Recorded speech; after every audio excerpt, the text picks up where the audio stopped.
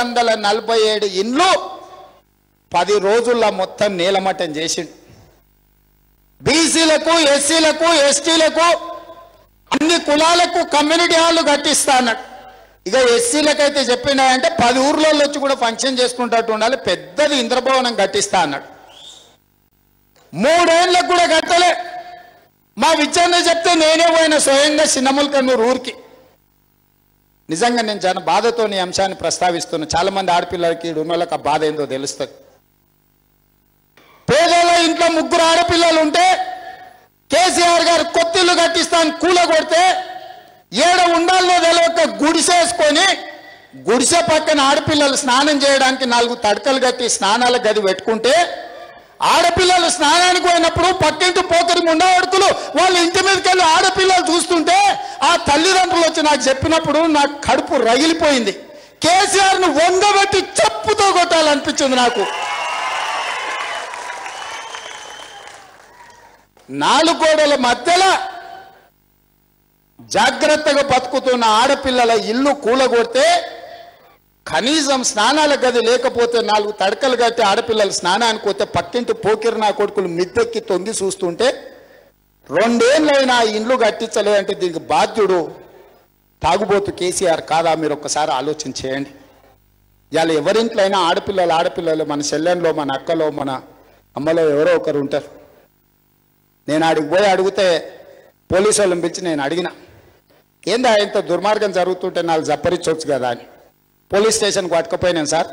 మా మిద్దె మా మిద్దె మేమెక్కినాం. మీకేం కష్టమని అడుగుతున్నారు సార్. ఏం చెప్పాలో మాకు అర్థమవుతలేదని అంటారు అంటే వాళ్ళు కూడా కేసీఆర్ లాగానే ఉల్టే దబాయించుడు నేర్చుకున్నారు. చేసేది చేసి ఉల్టే దబాయించేది నేర్చుకున్నారు నేను ఇవాళ అడుగుతున్న చిన్న ముల్కనూరులో ఇవాళకి కూడా.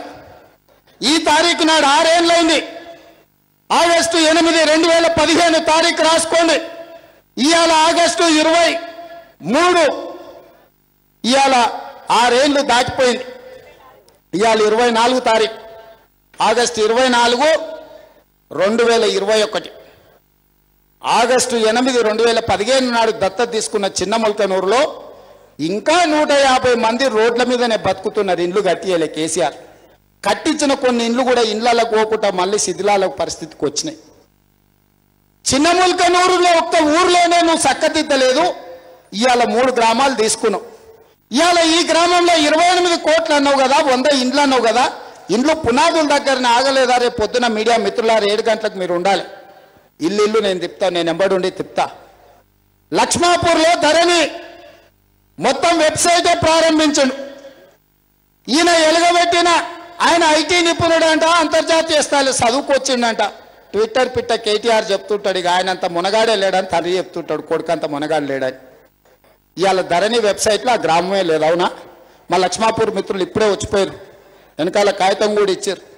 యాభై సార్లు మాట్లాడిన కలెక్టర్తో జాయింట్ కలెక్టర్తో కొట్లాడినా నేను. ఆ ఊర్లో రైతు బంద్ వస్తలేదు. చచ్చిపోతే రైతు బీమా వస్తలేదు. ఆ భూమికి ఆ ఊరికి గుర్తింపే లేదు తెలంగాణ రాష్ట్రంలో. ధరణి వెబ్సైట్లో ఆ ఊరికి మ్యాపే లేదంటే అది నోమెన్స్ ల్యాండ్. అంటే అది దేవుడి.